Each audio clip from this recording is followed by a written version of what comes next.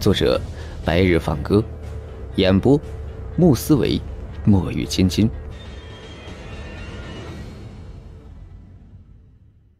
一千四百八十一集。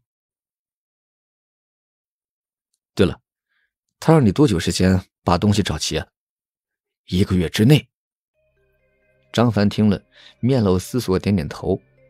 鬼影老头又继续说：“张大师。”那海中精怪跟我说，坟地里面所埋葬的长枪乃是他的兵器。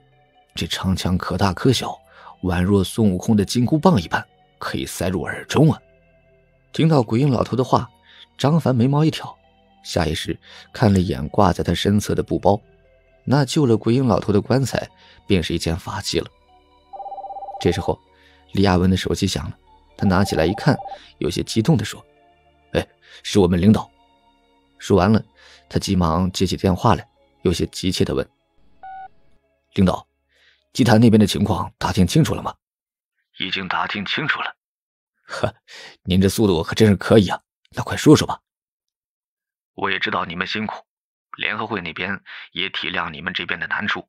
他们虽然不能伸手帮忙，但却派有专人跟我对接，所以这情报很快就可以传达上去了。”联合会里面的其中一名副会长亲自跟我说，这祭坛名叫圆满坛，这圆满坛并不是承受天劫的，而是承受天罚的。天罚是上天对于违背公义之事的诛罚，上天会降下几道天雷对其进行灭杀；而天罚是生物要挣脱自然力量束缚而引动的天地之力，两者所引动的能量不可同日而语。就仿佛小溪对比大海一般。听到对面的话，张凡和李亚文互相对视一眼，微微点头。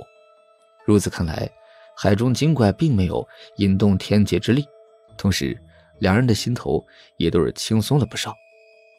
啊，对了，那祭坛必须摆放在阳光之下，而且不能无缘无故的摆放，不能提前摆放，也不可以延后摆放。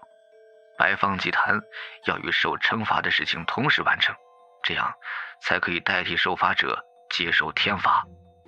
听到中年男子这话，张凡面露思索，那便是说，只有搭建好祭坛，只有找到所有搭建祭坛的材料，那海中精怪才可能会着手施法，动用符箓来修补躯体。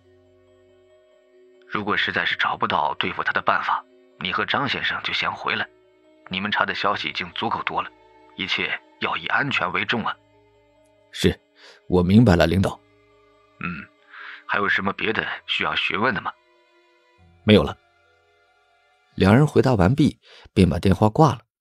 挂断电话以后，李亚文对张凡问道：“张先生，那咱们接下来该怎么办呢？”从你们刚才的对话来看，想让海中精怪使用那二十具有问题的躯体。咱们还必须要搭建祭坛，但是，咱们要真的继续进行下去吗？听到张凡这话，桂英老头说道：“都已经查到了这个地步了，呃，为什么不继续进行啊？”张凡看他一眼，面露犹豫。虽然我尽了最大努力隐藏那些干尸身上动的手脚，但是我对于他的实力并不清楚，我也不清楚他能否发现那些干尸的问题。这也是我让你抛下干尸以后。立刻逃离的原因。我当初是想你把干尸丢给精怪以后，那精怪是否真的要用那些干尸来修补身体，就只能看天意了。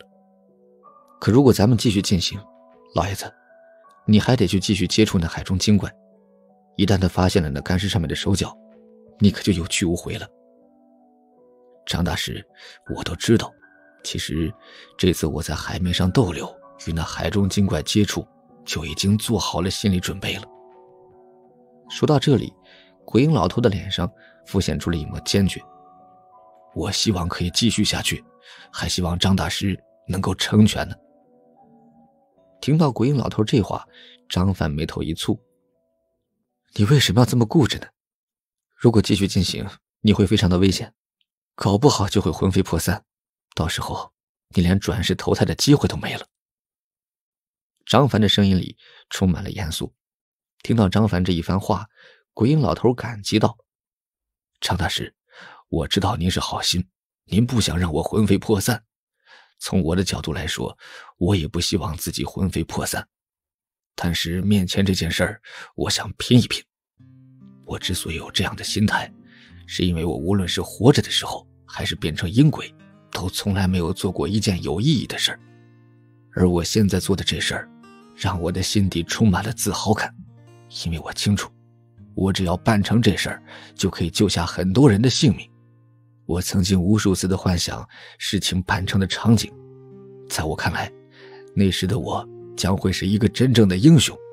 我也想当一次英雄，即便最后失败，即便最后我魂飞魄散了，我也不会后悔，因为那一刻，是我这一辈子。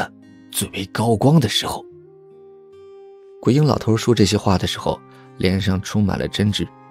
张凡和李亚文都是看了一眼鬼影老头，在一定程度上，两人是可以理解鬼影老头这样的心情的。